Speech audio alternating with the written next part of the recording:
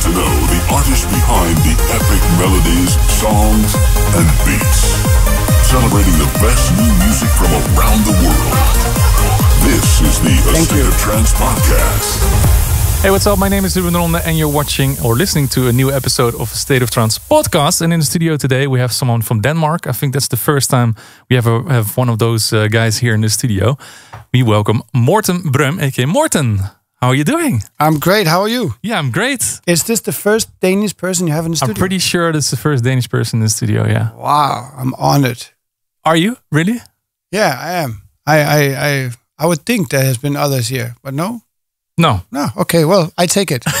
I haven't lived in Denmark for 14 years, but I guess I You're still a sort, still a sort of Danish person, yeah. Yeah, I'm very Danish.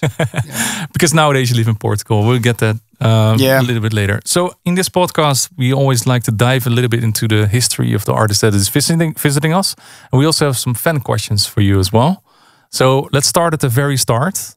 How did Morten Breum become Morten, the DJ? I started when I was 13 year, years old in a youth club uh, in the city where I was born, Aarhus in Denmark. And you could uh, go to a DJ school at night. There was this guy from London. He was teaching the kids how to scratch and how to mix on turntables. And I started that class and I became a DJ. And um, when I was 15, I, I finally got some some Denon, that's what we called them back then, CD players at home. And I would uh, DJ every day. And uh, as the age of 17, I got my my first show at a club. And uh, since then, I DJed every single weekend. And when I was 21, I met up with uh, Rune RK. Uh, Yeah. Today, his name is Kölsch. Mhm. And we did a record together in Denmark. And that record became the biggest dance record in Denmark for, yeah, I think until now. It, it's still the, the, the biggest record that's that's been in Denmark. And we created like a culture and a community around dance music. And we toured the country for for years. And um, this uh, pop duo in Denmark called Nik and Jay, they uh, they collaborated with me and they brought me on tour with them. And from there on, uh, I had a, a beautiful career in Denmark. And when I turned thirty, I uh, I I sold very big shows in Denmark, and and and Denmark is a kind of small country. So to Yeah. challenge myself more and to be better at making music, and and maybe try to to see if it could uh, work more on a global scene than just Denmark, I moved to LA, and I lived in LA for 12 years. Um, and the last two years of living in LA, I uh, made some records that I presented for David Guetta, and he fell in love with it. And together we started a project that we called Future Rave. And now we are like 20 or 22 records later. We are. We we uh, have a record label together. It's, We- it's funny that I had a whole list of years and everything that Oh, happened sorry. in the meantime, but you kind of skipped through it already. Oh, so, sorry. so that was Yeah, the podcast for today. Thank you so much for tuning in. no. Yeah, okay, but that was just. Uh, I thought you said like how. how no, no, how no. it It's, it's fine. And I mean, 100. percent Just that's why I let you go as well because uh, you gave Yeah. like a very brief, uh, brief story of what what is Morten basically. But I'm very curious. Like when you were 13 years old and you started DJing, what triggered you to become a DJ?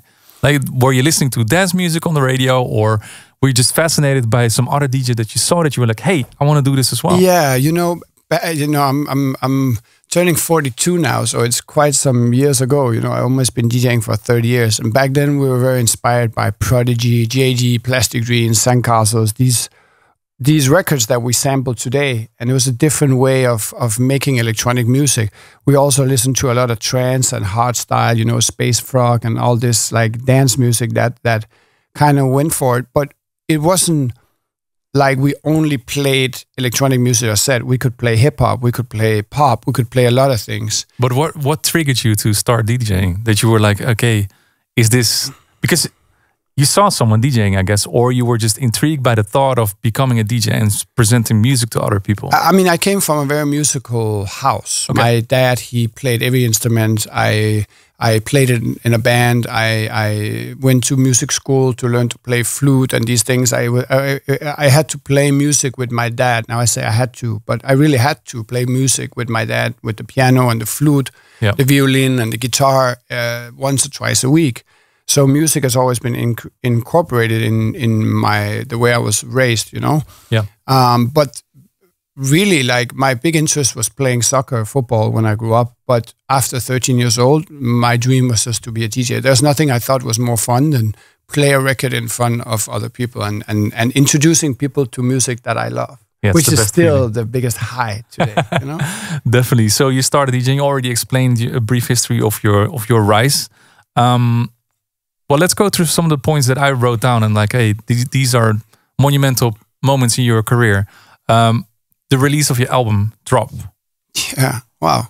because I was I, I texted. No, we spoke uh, earlier. Um, you were texting me. and I was like, hey, um, heads in your music right now, and that was one of the things that I was listening to. Drop. Tell us about your first album, 2009 or 2010. Yeah, it, it was um, it was fun because um, my old manager he told me like, listen, you need to start making music. Uh, we, need to to try to elevate this. I was only 20 years old, and I was like, but I don't know anything. Well, I set you up with this producer and and just try to learn for him and see what you can do. You already had the musical knowledge, so that Yeah. helps a lot. Yeah. Yeah, yeah, true. It made it easier. But more, I think, important at that time for me is I had already found out what kind of music in electronic music I liked. Yeah. And I didn't know that it would be a thing to produce, to pursue, to have a record that people love. Yeah. I just wanted to make music that I love. I didn't really care. I didn't know that it was a thing that people needed to love it.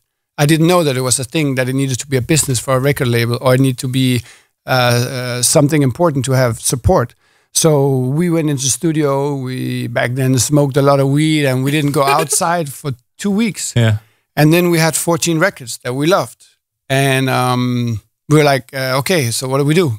Well, we make an album. But back then, you didn't make an album. Dance music, you didn't make an album. I No, you mean, I release guess- singles. That's it. Yeah. Yeah, and it was like, who's gonna release it? Because back then, the dance label for in Denmark, or, or there wasn't a dance label. And 2009 was a bad time for the music industry. Yeah, I, yeah, I, I don't know. In, in Denmark, it was not so easy to just release dance music, you know. So we did a release party at the city where I was from, and everyone who came to the release party, instead of paying an entrance, they would buy the album. Ah. So automatically, we sold like 2,000 albums on the first night. Okay. Smart. And then we kind of had people's attention, which was Because you were charting straight away. Yeah, and like okay, we sold two thousand physical copies. This is a lot That's a lot. Yeah. for this young DJ, you know.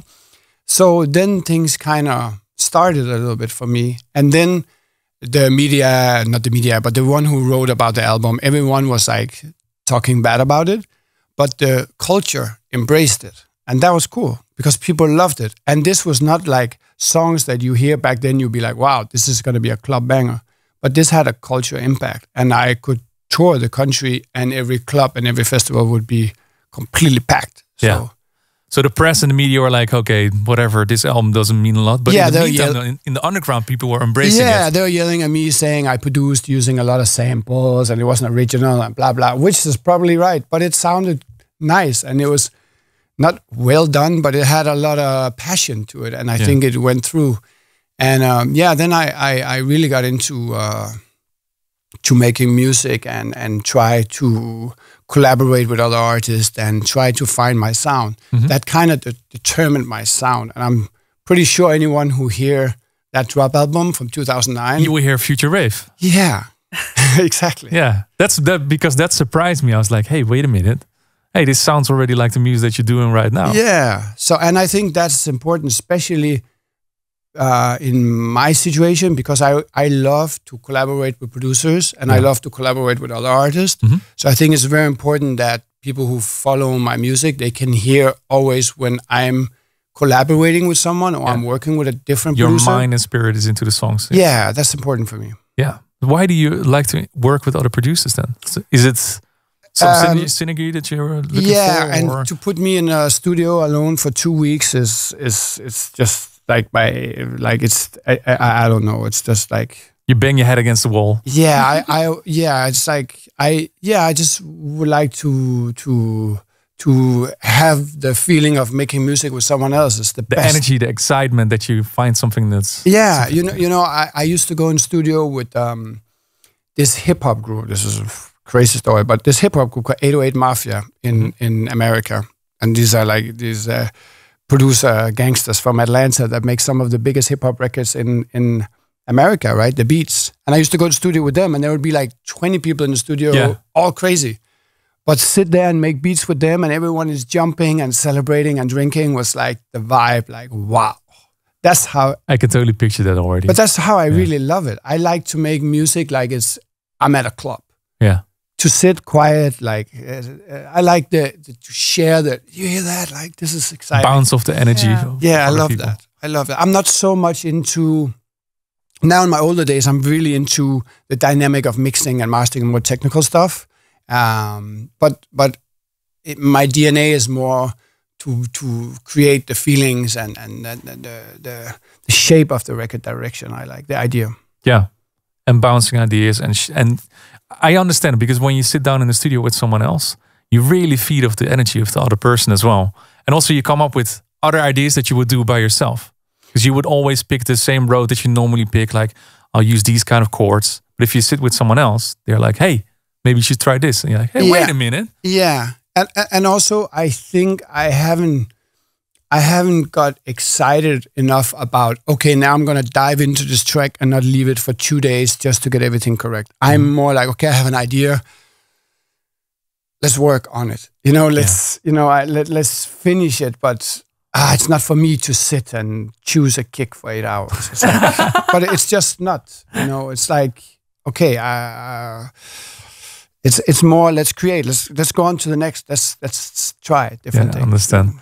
Also, the, uh, before we move on, I just want to uh, share one thing because I remember in 2009 when you dropped uh, Drop, I remember driving down to Copenhagen to Sensation where you played as well. yeah that's true that I- I have never been more nervous in my life for that show That was an epic event. I, I Yeah. remember driving there. Uh, was we had to drive over these bridges, and I don't know. We drove in the middle of the night, so halfway I had to stop the car just to sleep, yeah, just yeah. a little bit. But I was so excited to see. but that's you really passionate you came from Holland to drive to Copenhagen to go to a dance event. yes, yes. that's that's that's because it was sensation, crazy. you know, and it was Yeah. really, and, and it was.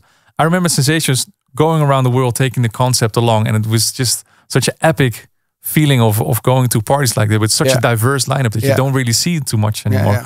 But but but back then, you know, it, it, it was like there, I think there were 30,000 35,000 people in the national arena in Denmark. It was massive. A- and you don't get that platform as a DJ in the early 2000s. No, There was only Armin van Buuren and Tiësto and David Guetta who played these shows. Yeah. So for the rest of us to get on that stage, it was mind blowing.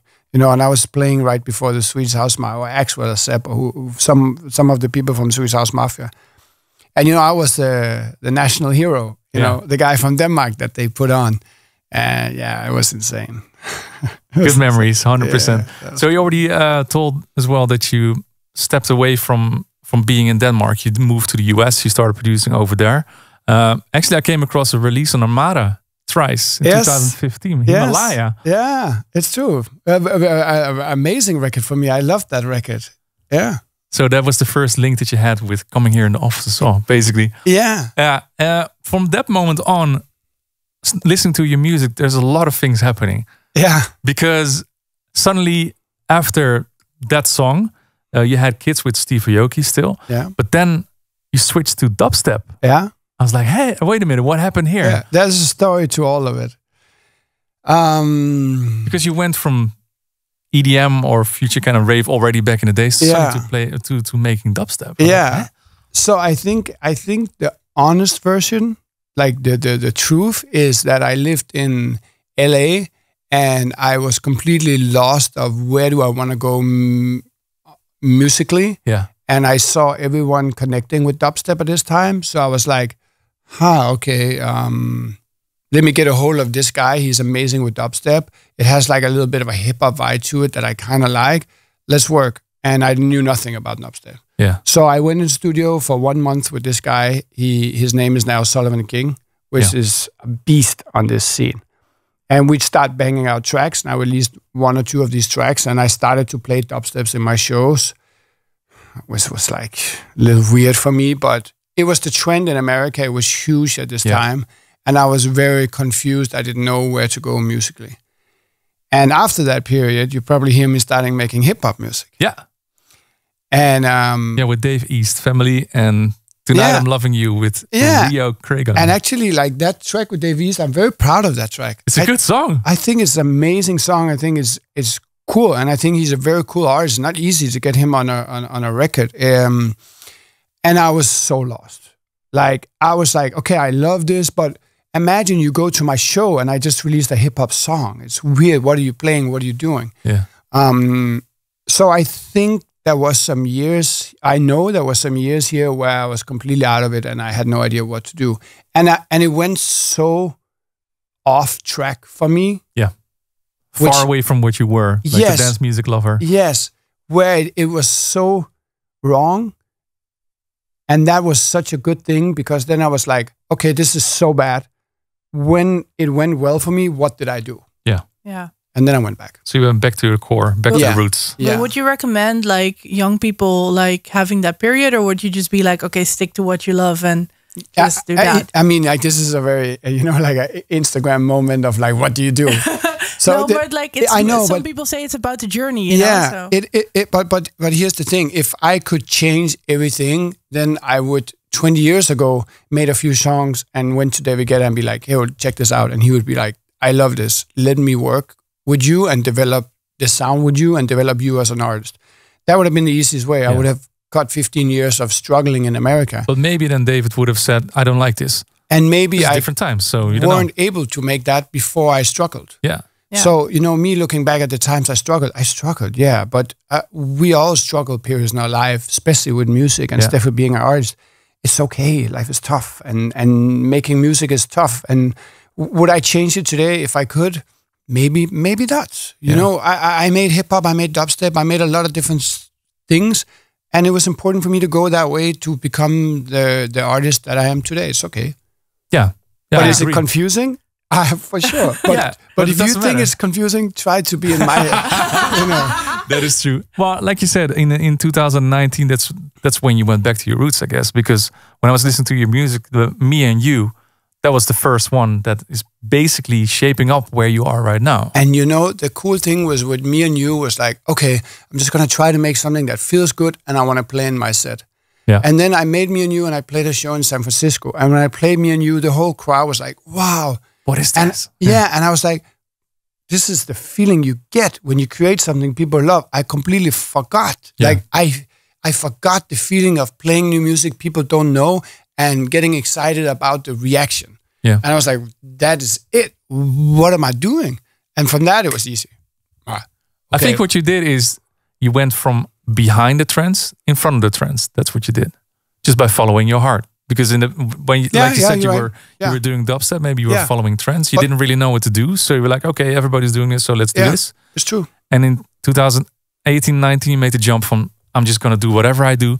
I'm gonna lead the pack instead of following it. Yeah, but I didn't I didn't make music to try to lead the pack because I didn't know it was gonna lead the pack. I just made music that I thought was cool Yeah. and that I liked. And I I think it's very important that we follow what's going on on the scene. You mm-hmm. know, I f- see and hear a lot of producers who are stuck in the past and doing things where I'm like, you only do this because I think that the imprint you're getting is not what's going on right now. You need to go to Ibiza. You need to go to UK. Yeah, you need to go to America. You need to feel where's the audience at because these sounds we heard them too much. Yeah. These methods we they are too play out. We need something fresh. The world people want something fresh. Yeah. But what is fresh? You know, we never know. And we get inspired by others who produced, and we try to incorporate in that and make it our own. Yeah. But the second we just try to make something that we really like, then it's like fresh, fresh, you know.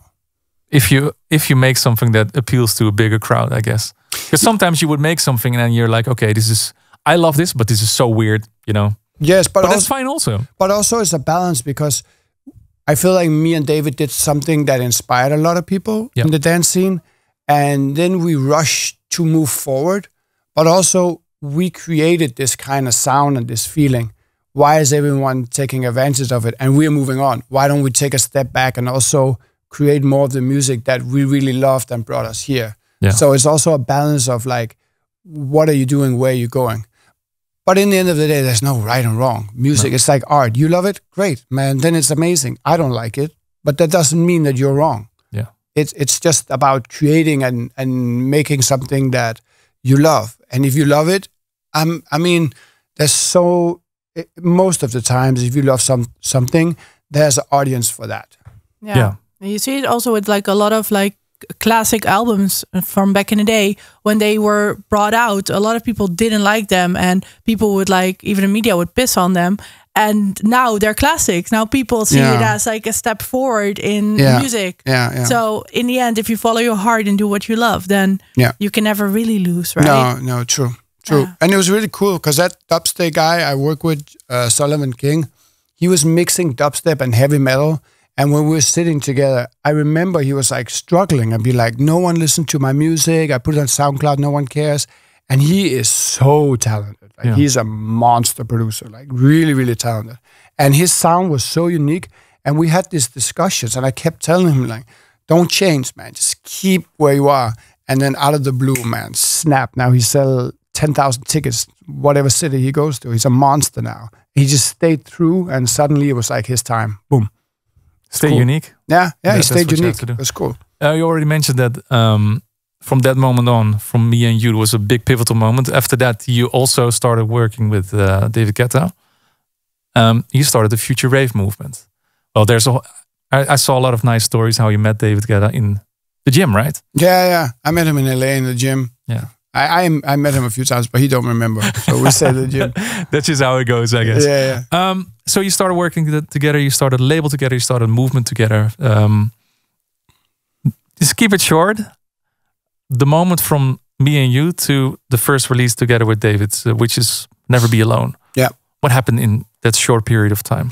Well, well, David has always been supporting me, even though we didn't make music together. He would allow me to open for him in Ibiza. He would allow me to open for him different places around the world, uh, Las Vegas and LA, Yeah. so on. Which is a big thing when you are uh, an upcoming artist. When the the, the, the bigger guys help you, and and he would give me feedback on my records. So Yeah. he's always been helping me before we start mus- making music together. So we were friends. I would hang out with him in Ibiza and do stuff. Yeah.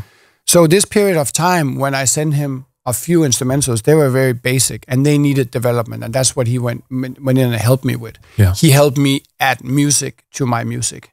To we have a certain layer of emotions, and he brought in like next level. You know, songwriting with Aloe Blacc and Ray, and and you know made chord progression how we know David Guetta. You know, big feelings in the breakdowns, and like his his understanding of creating these emotional moments is just amazing. Yeah. So developing the records we did together was a big part of it. That took time between me and you and, and our first release. Yeah. And from our first release was that um, Never Be Alone with Aloe Blacc in 2019.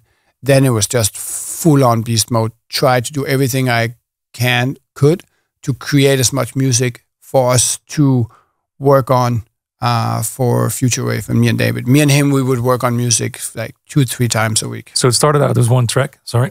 yeah, yeah. But did you already have the intention on beforehand also with David to just start this whole movement, or was it just because it worked out nicely? We're gonna do some more.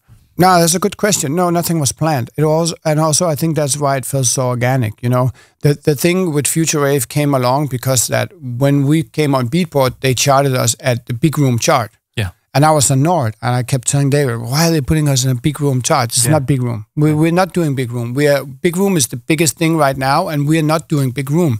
I'm so annoyed. Why don't they make a new genre for us? We call it, call it Future Rave. Yeah. And we were both like, I like that name. you know, I like that name a lot. Something and we were like, future, we call it Future past. Rave. The sound we're doing is Future Rave. And you know, we made some T-shirts. And David he played a show in uh, in Miami where he did for charity. He, I think he called it United at Home, where Yeah. he where he played. He did like a charity where he played in front of I don't know how many of millions of people around the world. That was in the beginning of the Corona lockdown. Exactly. It was unbelievable. And he jumped in a Future Rave t-shirt. And I remember sitting and watching it live and like, oh my God, he's wearing a Future Rave t-shirt. it was so sick. And I could just see all the comments like, holy shit, the Future Rave t-shirt. What is Future Rave? How do I get the t-shirt? Blah, blah. And that was really amazing moment for us because we didn't brand it as something. It was just like, what is that? Yeah. And then the fans they they made it theirs. Yeah. And we would see everywhere people would comment, Future Rave, Future Rave, Future Rave, Future Rave. We were like, holy shit. This is fucking sorry. This is this is crazy because it, we didn't put it into people's throat. We didn't tell them this is hot. This is future rave. It was like the fans told us, "Yo, what are you doing? Is is future rave? This is sick." They just grabbed it, and then we were like onto it. I love that. I think that's also I saw a couple of interviews of of David also talking about you, um, that you basically bro- brought a lot of fun into his life, just making music not for the charts but for dance floors. Is that correct? Yeah, I think you know, like I'm, I, I, I, I yeah, uh, it's nice of him to say that, but also the other way around because David is uh David David Guetta, you know, he he makes big records. He's a he's a big engine, you know. It's like he he makes songs the whole world dance to. But he's also like he he's when it comes to making music, he's an 18 year old kid, you Yeah. know. I, I go in the studio with him in Ibiza and we're working on a record that is 30% done. And he put it on a USB stick and he runs to the car and he jumps on stage. Literally 15 minutes later, he plays Ushuaia in front of 12,000 people. And Playing he, that song.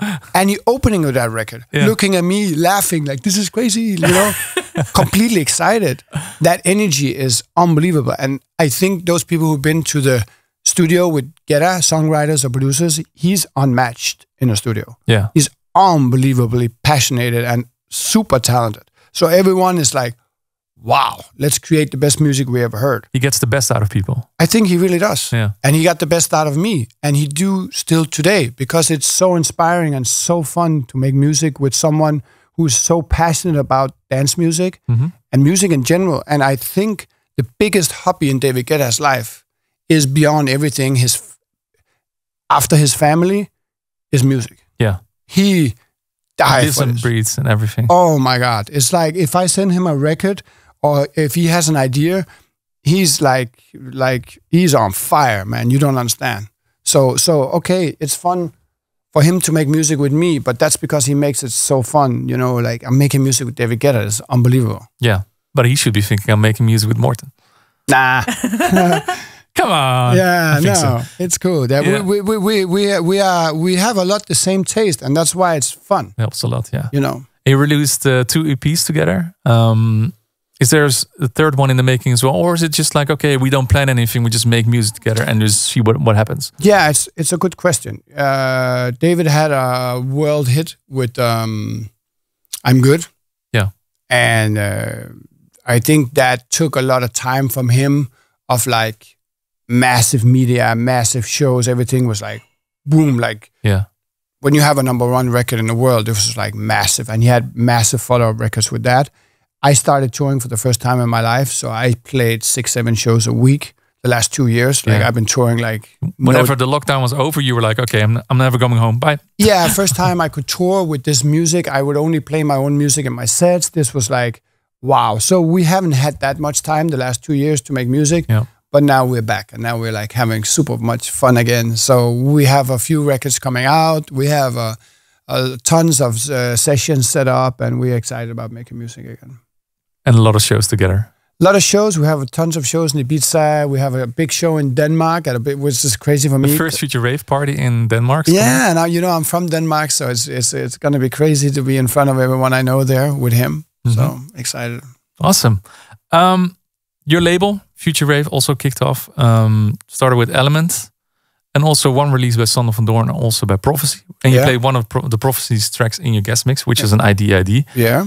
What else is coming on the label in the future besides your own music, maybe? Yeah. So we want to release our own music on the label, and we want to. Um, our, the whole idea with with making a label was to to push culture and be part of you know the the cultural impact that you have here State of Trance and with Armada and you know a lot of a lot of dance labels do so well with pushing this culture, and we want to be a part of that. The truth is, it's been a little bit of a hard start for us. Yeah. It's very hard, I think, to to sign a record that defines the direction and the sound you want to go. Yeah. Uh, it's a lot of work, and me and him, we spend all our time on making music and touring. So on the other hand, also have uh, spend time on helping producers to develop their sound and finishing songs with them so it fits the direction and what we do want to do on a label. I think is a little bigger eh, for me. Is a little bigger task than I anticipated. But now I think we came to agreement that we just want to release music that we love and think is fun and not overthink it Yeah. and just take it day by day instead of being like, okay, this is what we have to do. Now we have a Forcing yourself to find music that you don't really like, but you like it enough to release. Yeah, it. so now we have a setup that if we find things we love, we can release it and we can push it and we can we can be a part of it. So um yeah, day by day. So you don't know yet what's going to come in the near future. No, now I tried that new one with Prophecy. It, it felt pretty good. Yeah, it's really good. Yeah, I it's think really you should good. sign it to be honest. Yeah, it's really good. it's really good. Uh, uh, I have a few other things, and I, I love people sending me records, and um, we'll see. Another big thing that I need to address because I'm watching your socials in the last couple of weeks, the Boom Boom Army, Yeah, the mer- merchandise drops. yeah, So in the meantime, you're touring the world, but you also have an apparel brand yeah. which sells out in six hours. Yeah, it, it was a good start. We rebranded it. Uh, it used to be a big part of what I, I have been doing in in in the last ten years. Uh, lately, the last two years, there hasn't been a, a lot of time to do other things. But I'm very passionate about uh, this brand, Boom Boom Army, because it, it's like Future Rave. It just became its own thing Yeah. that the young people love to wear and and to be a part of this. And now we are back and and, and just making some some things we th- we think is fun. And thank you for bringing it up. Um, so yeah, we launched uh, last Friday, and um, and now we're shipping it to people all over the world. Did you really- expect that it would blow up like that? Uh, I could feel it felt good. Yeah, yeah. Yeah, I I felt could. there was a buzz, like there was something happening. Yeah, and like I, you see your DM, and everyone is asking, "Where can I buy this? Yeah, Where can yeah, I buy?" it? So we kind of knew that there was like people would like this. So it's fun. Awesome. Yeah, it's fun to be a part of something. I like this a lot. Yeah. I think that's also why we enjoy in State of Trance so much because it's like it's such It's a, a family. community. Yeah. Yeah. Yeah, and you you know the trance community has always stood out as the strongest dance community in the world. To be honest, Mhm. you know, like um, I remember going to Armin van Buuren's show in um, in Los Angeles ten years ago, and there would be like ten thousand or fifteen thousand people in the Forum, the, the the concert venue in LA, and the fans were just like the most diehard fans ever. It's really unbelievable, and this community is. Uh, it's yeah, we're nice. blessed, hundred percent. Yeah, it's very very nice. And it's funny you say that because I also wrote down that I see that you visited a lot of. If you don't have to play yourself, you visited a lot of shows of other artists as well. You went to Illenium uh, Yeah, two yeah. weeks ago. Yeah. Sold out two nights in Yeah. the Bank of America Stadium, I think. Yeah, it's uh, crazy. Like fifty thousand tickets. Insane. Yeah. Insane. Uh, is it something that you do also Vancouver, where we went together to Armin? Yeah, Is it something that you do out of passion for the music, or is it also a little bit of homework? Or? yeah, it's a mix. I think it's very important to see what's going on. Like I, I, I, um, I think it's very important to to dig into different cultures and see in dance music what's going on. Yeah. And especially when you have a guy like Illenium that in America sells to His so fan base is unbelievable. Yeah. So what are the dynamics? Why is he selling out fifty thousand tickets two nights in a row? Like Yeah. because nobody else does that. Yeah. So why is what is he doing? What's going on? What is his music? What is his production? This is very important for me to come and experience. I want to be a part of it. I want to feel it and Yeah. not just see a video on YouTube. Same way I went to see with you. We went to see and see Armin. You know Yeah. why has Armin been on top of the game for two three decades now? Why is he so good on stage? What's what's he doing? It's very important for me to to see and feel this music. Same as it is to go to a small club in in Berlin or in Copenhagen or go out in Ibiza, even though I'm not playing a show. Yeah. It's important. I think it's important to keep the connection with the dance floor as well. Yeah. Not only as a DJ, but also as an, as Yeah, an yeah. audience. Yeah. Uh, absolutely.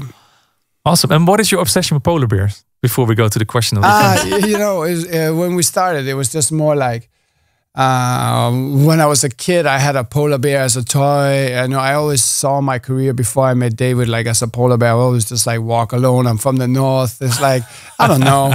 I I just like a polar bear. It's cool and it's extincting. They're not extinguished. There's not many left. So, Yeah. and I'm from Scandinavia. You know, it's kind of cold and Fair point. yeah, It's a little bit of a mascot, I guess. yeah, yeah. yeah. Um, okay, okay, let's dive into some of the, the questions that came in through Instagram. Um, Dr. Oscillator wants to know how would you suggest growing uh, to make a living of music? So, how would you suggest up and coming artists to get Mm. into a certain space that you can live of making music? I mean, the end of the day, if you want to tour, you need to create a demand. So you need to make music that people want to listen to and they want to come to your show. Yeah. They come to your show, the the business is kind of rolling and Yeah. you can get paid because you sell the tickets.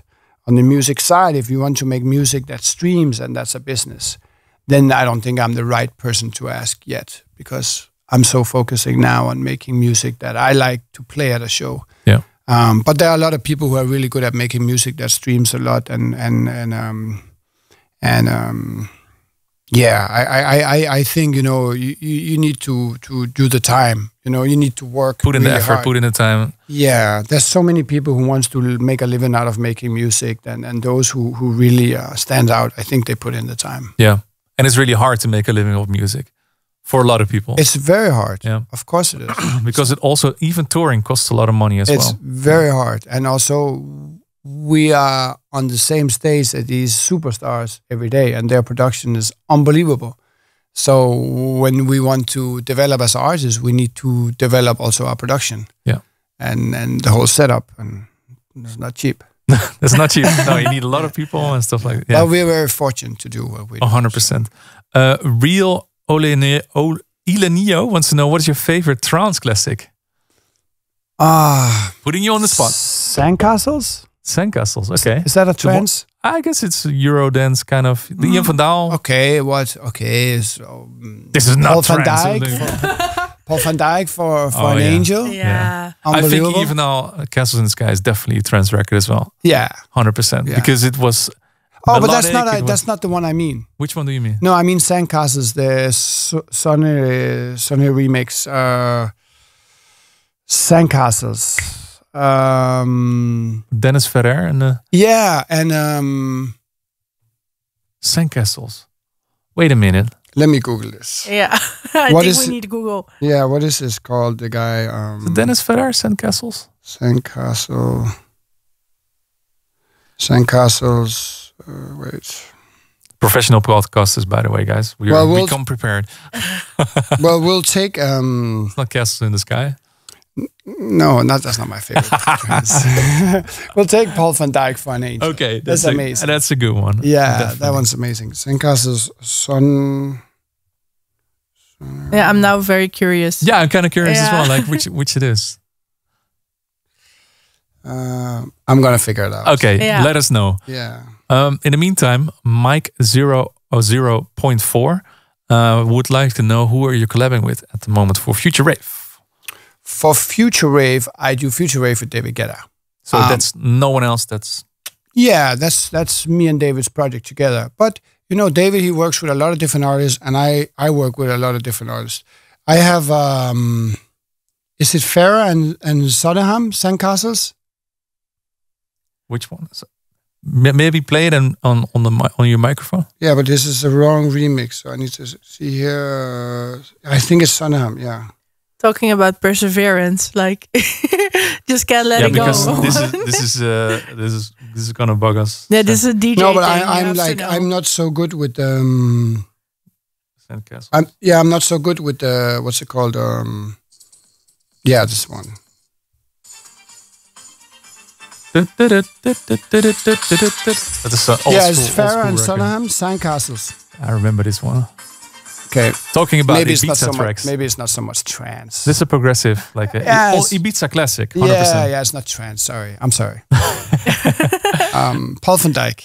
For an angel. Yeah, We can all agree on that one. Jacqueline Yeah. wants to know what advice would you have given your younger self?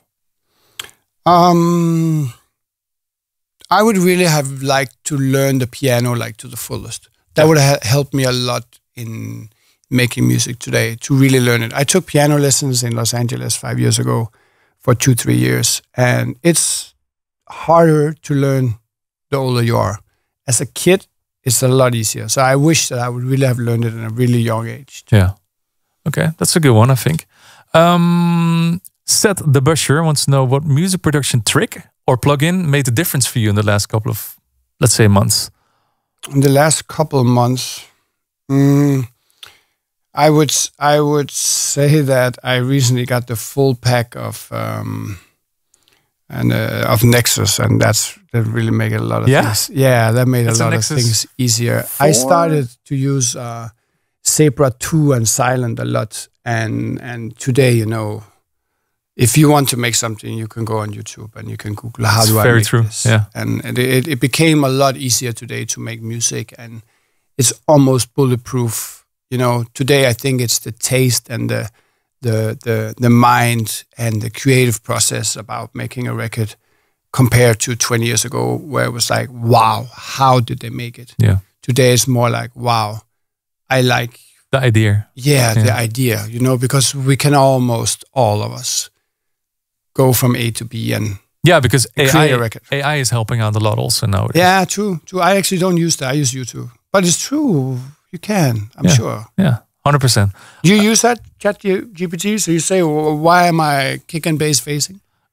no, no, not really. But in in all honesty, so uh, I, I recently started a project with uh, Estiva called uh, Ebenezer, and we were doing um, a show at Dream State, Yeah. Dreams for Insomniac in in America. Yeah, when I met you.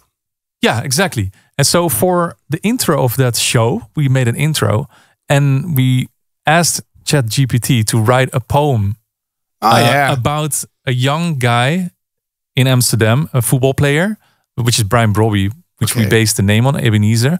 And we wrote, write something about an uh, Amsterdam, some typical phrases about Amsterdam, and about the football player Brian Brobbey.